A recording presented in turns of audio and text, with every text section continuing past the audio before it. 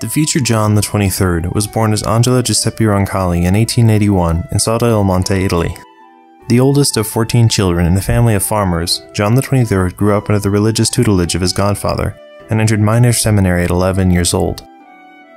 While in seminary, Angelo became a secular Franciscan, and in 1904 he was ordained a priest. After his ordination, Father Roncalli went to Rome to study canon law, the discipline which canonists learn to know whether or not to grant marriage annulments, although the study of canon law teaches many other things, besides the details of marriage.